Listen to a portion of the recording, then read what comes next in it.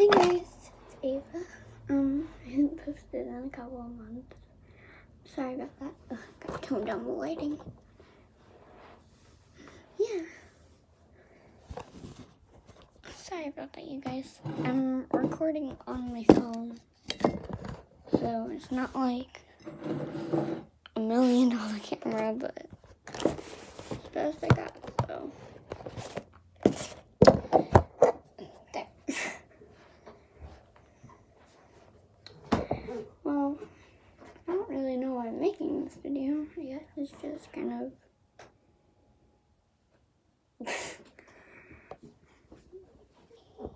but, yeah.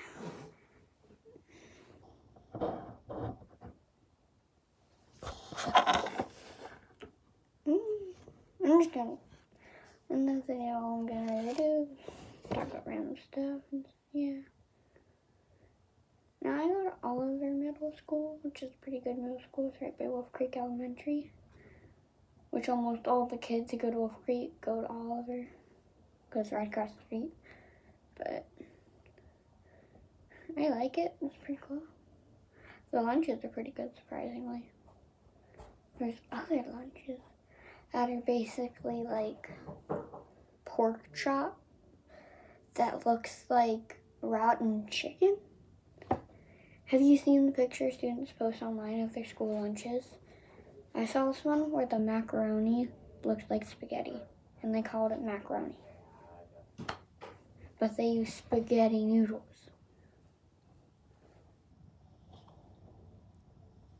Yeah, school lunches suck, but I think it's better. The good thing at Oliver is that the class, the electives are really nice. It has a band and an orchestra program. Personally, I'm in orchestra, and it's pretty good. Uh, the room gets really, really cold because I don't think our heater works. So, you always gotta either wear long sleeves or bring a jacket. I play violin, and then I'm pointing to the to the um poster behind me. Let me show you back here.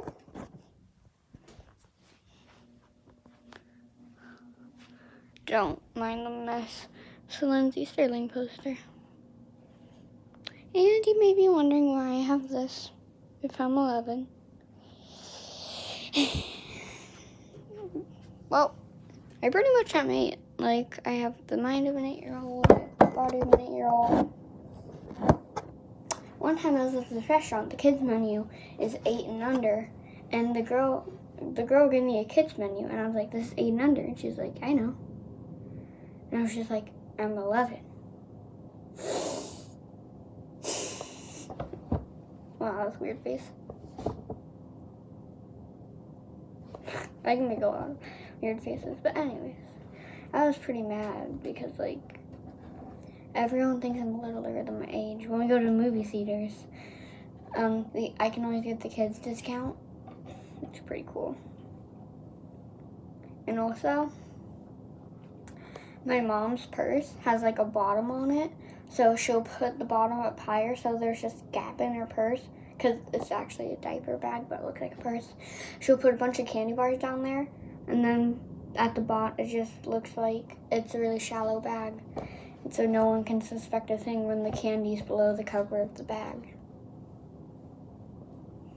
Yeah. Another tactic for drinks, if it doesn't have a cap, well, it's really hard to do, but what I do is I'll, my mom's purse get a really like big one. Like bottles are usually about as big as this. Make sure it's like this much taller than your bottle, like four inches taller than your bottle. Then what you're gonna do is you're gonna get like a bunch of tissues or like I don't know, like some sort of cloth. Like we usually just get like a handkerchief. It's kind of I don't think people have those anymore, but we'll just cover the top. So when you look into the bag, all you see is handkerchief. And then for good measure, if you really want to, put two under there. Take one off. Still a handkerchief. Just like Then you have your ring. You have to keep it standing up and you have to put like support items next to it.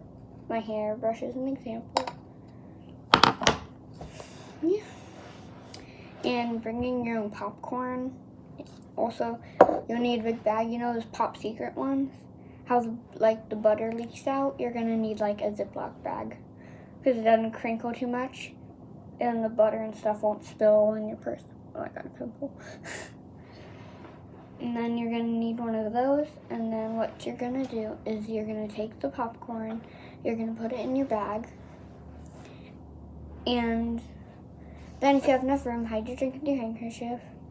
Then, and if you don't have a false bottom bag, you can put your candy bar, like, I don't know, like if you bring popcorn under the popcorn or just put it in one of the side pockets of your purse. And if you're still worried about that, stuff napkins in there with it. And to cover the popcorn, just like put wall your wallet, a bunch of junk, like a makeup pouch, like a flashlight, perfume. I'm just using stuff that I have on my desk.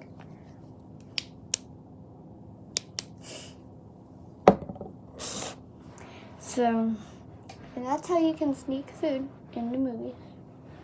Well, that's what I would do. I would also, if you have those like candies that come in those like seriously crinkly wrappers or something, then yeah. They charge $5 for a candy bar. When you know those Hasbro gummy bears, that's about a dollar per bag at the movie theater. I was there yesterday, $4. $4. I could buy three more of those. Actually, probably two, not including including tax. You know, and then boom, it'd be really good.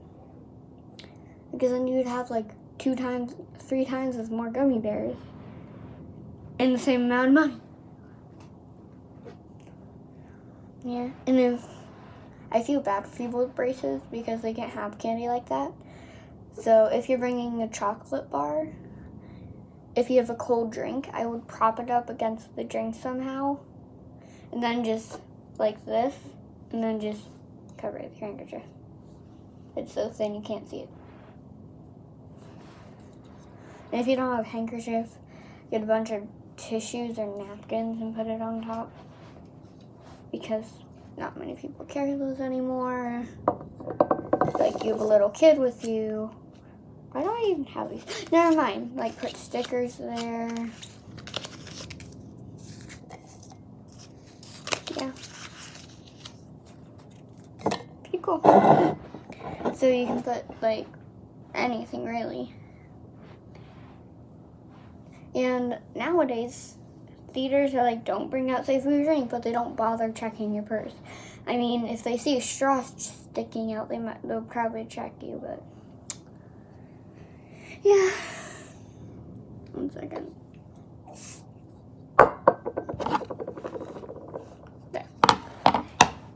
So as long as it's not like a straw sticking out, or like you literally like your purse is like this, you just lay like a candy bar like this, you'll be fine. Because I know they say that they check bags, but they don't. I probably whisper that too quietly, but they don't. So, I've never gotten my bag checked once. And once I just once we were at the movie theater and we just walked by the ticket person because we forgot. We had our tickets, but it was they were just like looking around. They didn't see us and we just forgot because they usually stop us. And then um and then yeah. So and then we're just like well, the movie's over, we can't use these tickets. So we just told the girl, she's like, uh don't tell my boss. she didn't say that, but I feel like the best place to work as your first job, don't do a fast food restaurant. Just don't. It seems easy, but there's not quirks. Like, you have to get a food permit, which is a pain in the butt. You probably have to have a car to drive there unless you're close to one. Like I live right next to a Braum's. And a bunch of other stuff like that. And to get a food permit, that's pretty hard. Because once I saw this person working at Subway. They're just like making a sandwich. They just sneeze. So you know what they did? They had gloves on. They didn't go like like a normal person would like and then use the same gloves, just wiped it off on their hands, and used the same glove to continue making a sandwich. I was pretty mad. I watched my brother eat his sandwich. Luckily, before I got mine, they changed their gloves. So, and I just looked at my brother's sandwich. I was just like, no, no, no, no, no, no, because that's disgusting. Really is. That's the same thing. Like when people have like Cheetos and they like lick the Cheeto dust off their fingers and like that, and then they'll like touch a bunch of food. Like someone's slicing a cake and then they use their finger, like they touch the thing their finger to lift up the cake after they licked it. And when teachers lick their finger to get the pages.